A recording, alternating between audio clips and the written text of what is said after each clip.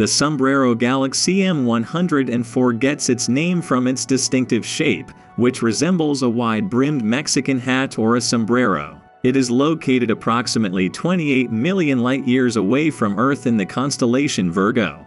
The Sombrero Galaxy is classified as a spiral galaxy, but it has an unusual bulge at its center, giving it a unique appearance. With a diameter of about 50,000 light-years, the Sombrero Galaxy is roughly half the size of our Milky Way galaxy. It is one of the brightest galaxies visible from Earth, making it a popular target for amateur and professional astronomers alike. It is believed to be interacting with another smaller galaxy, leading to ongoing gravitational interactions and potential future mergers.